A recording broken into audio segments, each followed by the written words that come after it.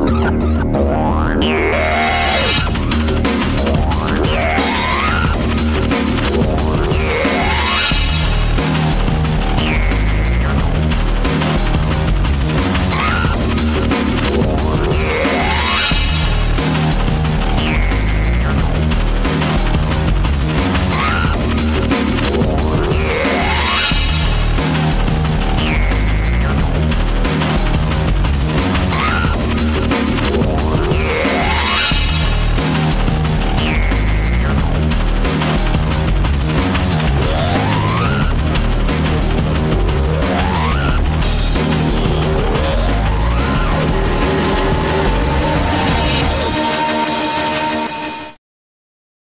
No, danes smo na podelitvi za najboljše slovenske nogometaše oziroma nogometaše, ki igrajo na področju Slovenije.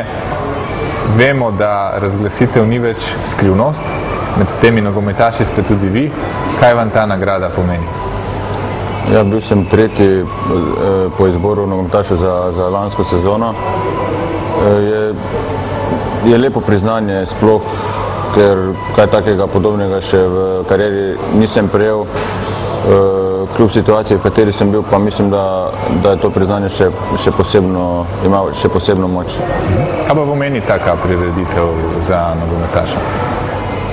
Pa evo, tu se mislim, da edin, edin dan, edin dogodek, kjer se srečamo vsi iz prve lige in tudi se lahko malo pogovorimo razne zadeve in nasploh no, je v bistvu edin dogodek, no, kjer se ki, ki, ki ga imamo nogometaši v prvi ligi Slovenije.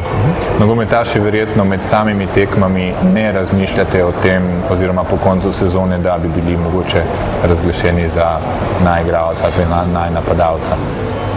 Vsekakor ne, ne vem, kdo bi o tem razmišljal, razmišljaš o svojih igrah, e, to pa pride samo od sebe. Ne. E, pravim, so, ta glasovanja so, so te glasove so dali eh, naši oziroma moji soigravci, nasprotnik, nasprotniki in zato ima tudi eh, to priznanje največjo težo. Mhm. Najboljši nogometaš je postal Marko Stavareš, že drugič, po vašem mnenju zasluženo?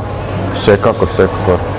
Se pravim, eh, če, to, če, to, če dajo glas za njega večina uh, igralcev v, v tej ligi, potem je vsekakor to zasluženo, kajti igralci so tisti, ki imajo nekak, uh, ki imajo realno oziroma vejo, vidijo in tudi začutijo njegovo kvaliteto in ta je bila vsekakor uh, na najvišjem nivoju med vsemi igralci. Ste tudi vi glasovali za njega?